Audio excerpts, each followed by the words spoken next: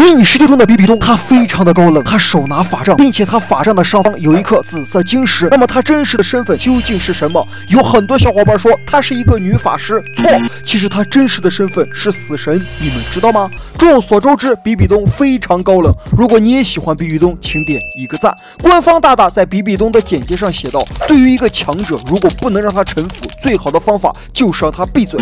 但是并没有写他真实的身份究竟是什么，并且我和学姐。研究后发现，比比东他手拿一个镰刀，并且这个镰刀居然是黑色的，和他游戏中拿的法杖完全不一致。并且我和学姐还发现，比比东他居然还可以附体在花小楼的身上。你手机表情包中的第一个就是此时花小楼的心情，小伙伴们把它发出来，我们看一下，这足以证明比比东他非常强大。并且今天我和学姐又有了新的发现，我们发现，在迷你世界中有一把镰刀和比比东的镰刀完全一致，它的名字叫做。死神镰刀，并且我们发现这把死神镰刀已经被比比东拿在了自己的手中，所以这就足以证明比比东的真实身份其实并不是法师，而是一个死神。你们知道了吗？